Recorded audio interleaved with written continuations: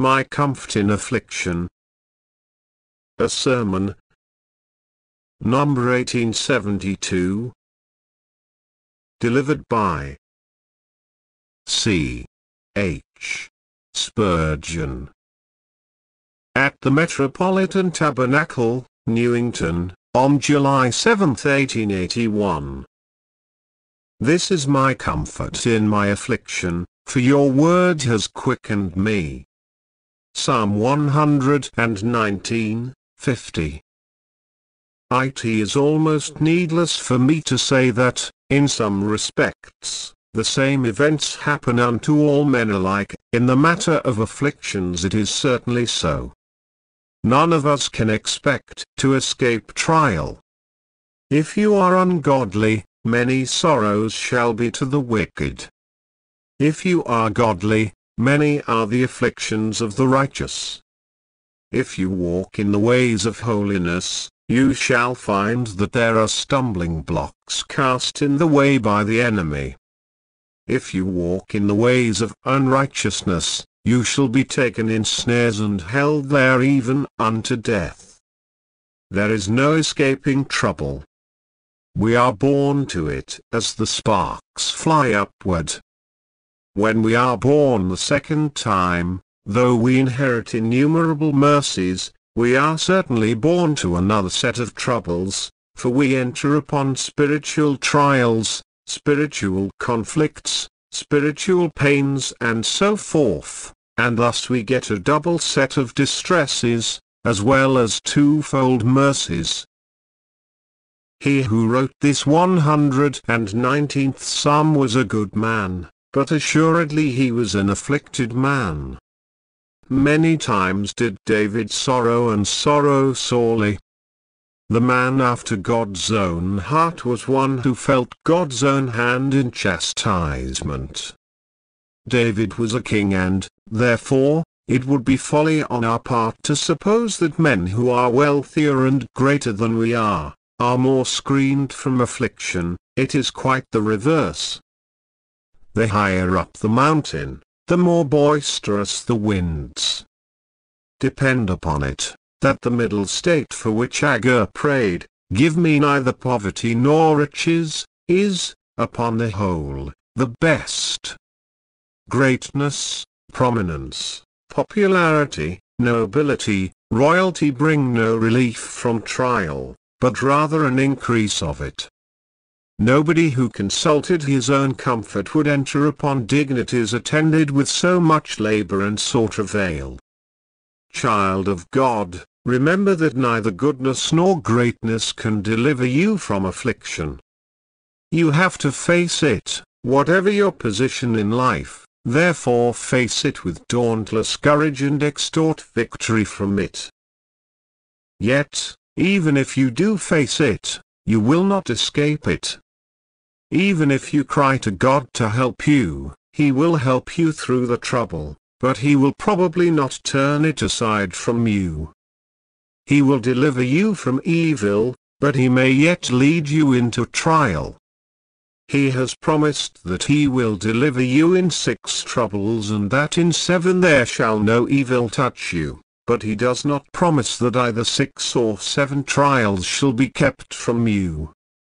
One like unto the Son of God was with the three holy children in the fire, but he was not with them till they were in the fire, at least not visibly, and he was not so with them as either to quench the flame, or to prevent their being cast into it. I am with you, Israel, passing through the fire, may well describe the covenant assurance. May we realize the fire if only thus we can realize the divine presence. Gladly may we accept the furnace if we may but find the company of the Son of God with us there. Every child of God among you can, with the psalmist, speak of my affliction. You may not be able to speak of my estate, my heritage, my wealth, my health, but you can all speak of my affliction. No man is a monopolist of misery. A portion of the black draught of sorrow is left for others. of that cup we must all drink, little or much, and we must drink of it as God ordains. So far, then, one event happens to all. My objective at this time is to show the difference between the Christian and the worldling in his affliction. First, believers have in their affliction a peculiar comfort, this is my comfort in my affliction. Secondly, that comfort comes from a peculiar source, for your word has quickened me. And, thirdly, that peculiar comfort is valuable under very special trials such as are mentioned in the context. I first, then, believers have their peculiar comfort under affliction. This, says David, is my comfort in my affliction. This, dwell on the word, this, as different from the consolations of other men. The drunk takes his cup and he quotes Solomon, Give strong drink unto him that is ready to perish, and wine unto those that are of heavy hearts. And, as he quaffs his cup, he says, This is my comfort in my affliction. The miser hides his gold, takes down his purse, and chinks it. Oh, the music of those golden notes. And he cries, This is my comfort in my affliction. Men mostly have some comfort or other.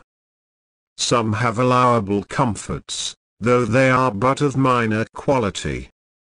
They find comfort in the sympathy of men, in domestic kindness, in philosophic reflection, in homely content, but such comforts generally fail always fail when the trial becomes exceedingly severe.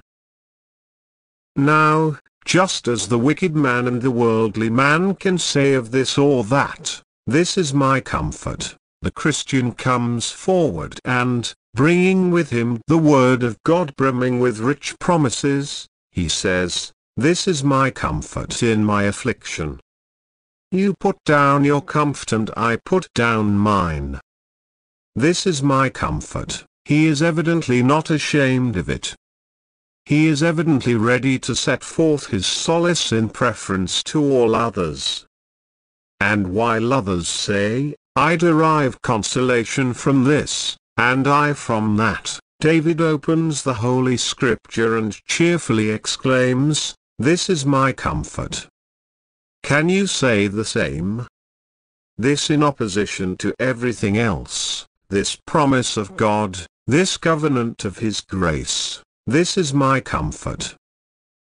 Now read, this in another sense, as indicating that he knew what it was. This is my comfort. He can explain what it is. Many Christian people get a comfort out of God's Word, out of believing in Christ and out of religious exercises, but they can hardly tell what the comfort is. A rose smells sweetly to a man who does not know the name of the rose. A rose grower tells me, this is the Marshal Niel. Thank you, dear sir, but I do not know who Marshal Niel is, or was or why the flower bears his name. But I can smell the rose all the same. So, Many people cannot explain doctrines, but they enjoy them. After all, experience is better than exposition.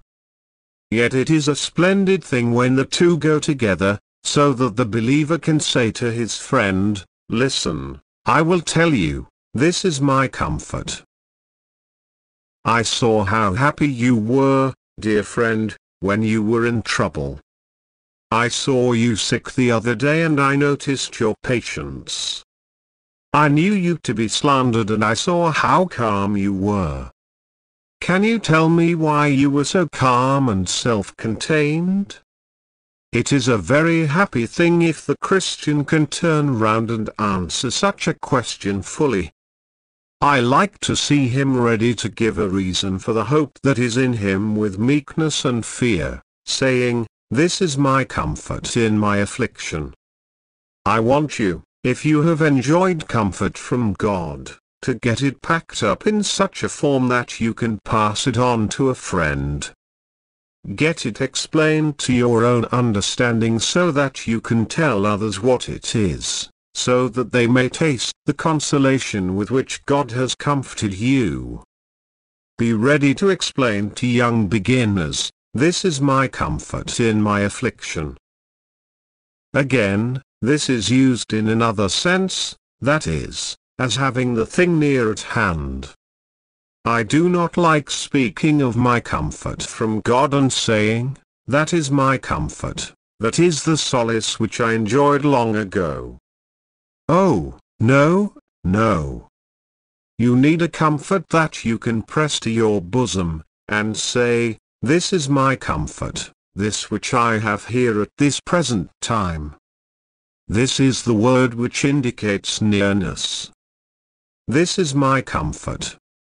Do you enjoy it now? You were so happy once. Are you as happy now? What peaceful hours I once enjoyed? How sweet their memory still. Yes, that is very well, Cowper, but it would be better to sing. What peaceful hours I now enjoy. How sweet the present hour. This is my comfort. I still have it with me, as my affliction is present with me, so my consolation is present with me. You have heard the classic story of the Rhodian who said that at such and such a place he had made a jump of many yards. He bragged till a Greek, who stood by, chalked out the distance and said, Would you mind jumping half that length now? So I have heard people talk of what enjoyments they once had, what delights they once had. I have heard of a man who has the roots of depravity dug out of him and, as for sin, he has almost forgotten what it is. I would like to watch that brother when under the influence of rheumatism. I do not want him to have it long but I should like him to have a twinge or two, that I might see whether some roots of corruption do not remain. I think that when he was tried in that way, or if not just in that way, in some other, he would find that there was a rootlet or two still in the soil. If a storm were to come on, Perhaps our brave dry land sailor might not find his anchor quite so easy to cast overboard as he now thinks it is. You smile at the talk of modern perfectionism and so do I, but I am sick of it. I do not believe in it. It is so utterly contrary to that which I have to learn every day, of my own unworthiness, that I feel a contempt for it. To have your comforts always handy, pray God that that which was a consolation years ago may still be a consolation, so that you may say, This is my comfort in my affliction. Again, I think the word, this, is meant as pleading it in prayer. Let me read the previous verse, Remember the word unto your servant upon which you have caused me to hope. That is your promise which you have made me to hope upon, Lord, fulfill it to me, for this, your promise, is my comfort in my affliction and I plead it in prayer. Suppose, brothers and sisters, you and I are enabled to take comfort out of a promise. We have, in that fact, a good argument to plead with God. We may say, Lord, I have so believed this promise of yours that I have been persuaded that I had in my possession the blessing promised to me. And now, shall I be ashamed by this, my hope? Will you not honor your word, seeing you have caused me to rest upon it? Is not this good pleading? Remember your word unto your servant, upon which you have caused me to hope for this is already my comfort. and you will have given me a false comfort and led me into error if your word should fail. O my Lord, since I have sucked my comfort out of the expectation of what you are about to do, surely by this you are pledged and bound to your servant, that you will keep your word. Hence the word this is seen to be a very comprehensive word. May the Spirit of God teach each of us to say of our priceless Bible, This is my comfort in my affliction. 2. We pass on to note, secondly, that this comfort comes from a peculiar source, this is my comfort, for your word has quickened me. The comfort, then, is partly outward, coming from God's word, but it is mainly and preeminently inward, for it is God's word experienced as to its quickening power within the soul. First, it is God's word that comforts. Why do we look anywhere else for consolation but to God's word? Oh, brothers and sisters, I am ashamed to have to say it, but we go to our neighbors, or relatives and we cry, Have pity upon me, have pity upon me, O my friends. And it ends with our crying, Miserable comforters are you all. We turn to the pages of our past life and look there for comfort, but this may also fail us. Though experience is a legitimate source of comfort, yet when the sky is dark and lowering, experience is apt to minister fresh distress. If we were to go at once to God's Word and search it till we found a promise suitable to our case, we should find relief far sooner. All cisterns dry up, only the fountain remains. Next time you are troubled, reach down to the Bible. Say to your soul, Soul, Sit still and hear what God the Lord will speak, for he will speak peace unto his people. You read one promise, and you feel, no, that hardly meets the case. Here is another, but it is made to a special character and I am afraid I am not that character. Here, thank God, is one that just fits me, as a key fits the wards of a lock. When you find such a promise, use it at once. John Bunyan beautifully pictures a pilgrim laid by the heels in giant despair's castle and the beaten with a crab-tree cudgel till one morning he puts his hand into his bosom and cries to his brother, Christian, what a fool have I been to lie rotting in this noisome dungeon when all this time I have a key in my bosom which will open every door in Doubting Castle. Say you so, my brother, says Christian, pluck it out, and let us use it at once. This key, which is called promise, is thrust into the first lock and the door flies open. And then it is tried upon the next and the next with quick results. Though the great iron gate had a rusted lock in which the key did terribly grate and grind, yet it did open and the prisoners were free from the vile durance of their mistrust.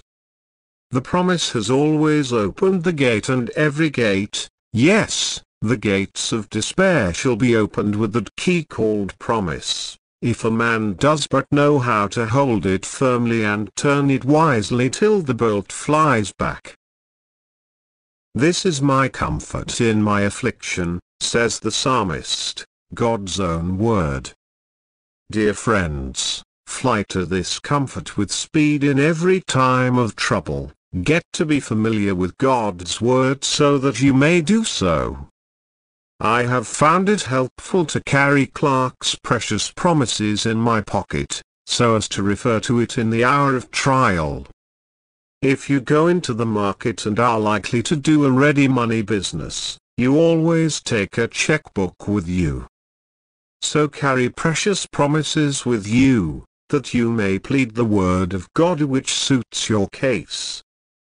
I have turned to promises for the sick when I have been of that number, or to promises to the poor, the despondent, the weary and such like, according to my own condition, and I have always found a scripture fitted to my case. I do not need a promise made to the sick when I am perfectly well. I do not need balm for a broken heart when my soul is rejoicing in the Lord, but it is very handy to know where to lay your hands upon suitable words of cheer when necessity arises. Thus the external comfort of the Christian is the Word of God. Now for the internal part of his consolation. This is my comfort in my affliction, for your word has quickened me. Oh, it is not the letter, but the Spirit which is our real comfort. We look not to that book which consists of so much binding, so much paper and so much ink, but to the living witness within the book. The Holy Spirit embodies himself in these blessed words of God and works upon our hearts so that we are quickened by the word. It is this which is the true comfort of the soul. When you read the promise and it is applied with power to you. When you read the law and it works with force upon your conscience. When you read any part of God's Word and it gives life to your spirit, then it is that you get the comfort of it. I have heard of persons reading so many chapters a day and getting through the Bible in a year, a very admirable habit, no doubt, but it may be performed so mechanically that no good, whatever, may come of it. You need to pray earnestly over the Word, that it may quicken you, or otherwise it will not be a comfort to you. Let us think of what our comfort is in the time of affliction from our souls being quickened by the Lord. Comfort comes thus, God's word has, in past days, quickened us. It has been a word of life from the dead. In our affliction we, therefore, Remember how God has brought us out of spiritual death and made us alive, and this cheers us. If you can say, whatever pain I suffer, whatever grief I endure, yet I am a living child of God, then you have a wellspring of comfort. It is better to be the most afflicted child of God than to be the happy worldling. Better be God's dog than the devil's darling. Child of God, comfort yourself with this, if God has not given me a soft bed, nor left me a whole skin, yet he has quickened me by his word and this is a choice favor. Thus our first quickening from spiritual death is a sunny memory. After we are made alive we need to be quickened in duty, to be quickened in joy, to be quickened in every holy exercise and we are happy if the Word has given us this repeated quickening. If, in looking back, dear friend, you can say, Your Word has quickened me. I have had much joy in hearing your Word. I have been made full of energy through your Word. I have been made to run in the way of your commandments through your Word. All this will be a great comfort to you. You can then plead, O Lord, while you may have denied me much of the joy that some people have, yet you have often quickened me. Oh, be it so again, for this is my comfort. I hope I am speaking to many experienced Christians who can say that God's Word has very frequently refreshed them when they have been in the depths of distress and fetched them up from the gates of the grave. And if they can bear this testimony, they know what comfort there is in the quickening of the Word of God and they will ask to feel that quickening influence, again, so they may be of good comfort. Brothers and sisters, it is a very strange thing that when God wills to do one thing, he often does another. when he wants to comfort us, what does he do? Does he comfort us? Yes, and number. He quickens us and so he comforts us. Sometimes the roundabout way is the straight way. God does not give the comfort we ask for by a distinct act, but he quickens us and so we obtain comfort. Here is a person very low and depressed. What does a wise doctor do? He does not give strong drink to act as a temporary stimulus to his spirits, for this would end in a reaction in which the man would sink lower. No, he gives him a tonic and braces him up. And when the man is stronger, he becomes happier and shakes off his nervousness. The Lord comforts his servants by quickening them. This is my comfort in my affliction, for your word has quickened me. I speak to some of you who have endured long affliction and it is a joy to see you out, again, tonight. Has not God's word often quickened you in affliction? Perhaps you have been sluggish when in health, but affliction has made you feel the value of the promise, the value of the covenant blessing, and then you have cried to God for it. You may have been worried about worldly cares, but you have been obliged to drop them in the time of affliction and your only care has been to get nearer to Christ and to creep into your Lord's bosom. Sometimes in prosperity you could hardly pray, but I guarantee you, you prayed when you were ready to perish and pined at death's door. Your affliction quickened your prayers. There is a man trying to write with a quill pen, it will not make anything but a thick stroke, so he takes a knife and cuts fiercely at the quill till it marks admirably. So we have to be cut with the sharp knife of affliction, for only then can the Lord make use of us. See how sharply gardeners trim their vines. They take off every shoot till the vine looks like a dry stick. There will be no grapes in the spring if there is not this cutting away in the autumn and winter. God quickens us in our afflictions through His Word. Our sorrows are made to have a salutary action on our souls.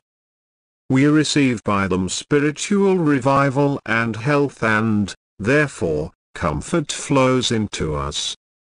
It would not be wise to pray to be altogether delivered from trial, though we should like to be. It would be a pleasant thing to have a grassy path all the way to heaven and never to find a stone in the road, but though pleasant, it might not be safe. If the way were a fine turf cut every morning with a lawn mower and made as soft as velvet, I am afraid we should never get to heaven at all, for we should linger too long upon the road. Some animals' feet are not adapted for smooth places and, brothers and sisters, you and I are of a very slippery-footed race. We slip when the roads are smooth. It is easy to go downhill, but it is not easy to do so without a stumble. John Bunyan tells us that when Christian passed through the valley of humiliation, the fight he had there with Apollyon was very much due to the slips he made in going down the hill which descended into the valley. Happy is he who is in the valley of humiliation, for, he that is down need fear no fall. But his happiness will largely depend upon how he came down. Gently, you that are on the hilltops of delight and prosperity. Gently, lest, perhaps you slip with your feet and mischief come of it. Quickening is what we need and if we get it, even if it comes to us by the sharpest tribulation, we may gladly accept it. This is my comfort in my affliction, for your word has quickened me. 3. Lastly, and very briefly, there are certain peculiar trials of Christians in which this peculiar comfort is specially excellent. Kindly look at the psalm and notice, in the 49th verse, that the psalmist suffered from hope deferred. Remember your word unto your servant, upon which you have caused me to hope. Long waiting for the promise to be fulfilled may make the soul grow weary, and hope deferred makes the heart sick. At such a time this is to be our comfort, your word has quickened me. I have not yet obtained that which I prayed for, but I have been quickened while I have been praying. I have not found the blessing I have been seeking, but I am sure I shall have it, for already the exercise of prayer has been of service to me, this is my comfort under the delay of my hope, that your word has already quickened me. Notice the next verse, in which the psalmist was suffering the great trial of scorn. The proud have had me greatly in derision. Ridicule is a very sharp ordeal. When the proud are able to say something against us that stings, when they laugh, yes, and laugh greatly, and treat us like the mire in the streets, it is a severe affliction and under it we need rich comfort. If at that time we feel that if man's word stings, yet God's word quickens, then we are comforted. If we are driven more to God by being scorned by men, we may very cheerfully accept their contempt and say, Lord, I bless you for this persecution which makes me a partaker of Christ's sufferings. I say it becomes a comfort to us to be quickened by the word when the ungodly are despising us. At the 53rd verse you will see that David was under the trouble of living among great blasphemers and doers of open wickedness. He says, Horror has taken hold upon me because of the wicked that forsake your law. He was horrified at their vices, he wished that he could get away from and never see or hear that which distressed him so much. But if the very sight and sound of sin drives us to pray and forces us to cry to God, the result is good, however painful the process may be. If men never swore in the streets, we should not so often be driven to cry to God to forgive their profanity. If you and I could always be shut up in a glass case and never see sin or hear of it, it might be a bad thing for us. But if, when we are compelled to see the wickedness of men and hear their curses and reviling, we can also feel that God's word is quickening us, even by our horror at sin, it is good for us. We have great comfort in this peculiar species of affliction, though it is exceedingly grievous to tender-hearted, pure and delicate minds who dwell near to God. Just read the 54th verse, and you will see another of David's trials indicated. Your statutes have been my song in the house of my pilgrimage. He had many changes. He had all the trials of a pilgrim's life, the discomforts of journeying in places where he had no abiding city. But, this, he says, has been my comfort in my affliction. Your word has told me of a city that has foundations. Your word has assured me that if I am a stranger upon earth, I am also a citizen of heaven. Your word has quickened me. I have felt myself so strengthened by your word that I have been glad to feel that this is not my rest. I am glad to feel that I must be away to a better land and so my heart has been happy and, your statutes have been my songs in the house of my pilgrimage. Lastly, in the 55th verse, you see David was in darkness. He says, I have remembered your name, O Lord, in the night, and have kept your law. Even in the night he could derive comfort from the quickening influence which often comes to the soul from the scriptures, even when we are surrounded by darkness and sorrow. I will not go over that ground, again, but certain it is that when our soul is shrouded in distress, it often becomes more active and gracious than when it is basking in the sunlight of prosperity. All along, then, dear friends, your comfort and mine is the Word of God, laid home by God, the Holy Spirit, to our hearts, quickening us to an increase of spiritual life. Do not try to flee from your troubles. Do not fret under your cares. Do not expect this world to bring forth roses without thorns. Do not hope to prevent the springing up of briars and thistles. Ask for quickening. Ask for that quickening to come, not by new revelations nor by fanatical excitement, but by God's own word quietly applied by His own Spirit. So shall you conquer all your troubles, overcome your difficulties and enter into heaven singing hallelujahs unto the Lord's right hand and holy arm which have gotten him the victory.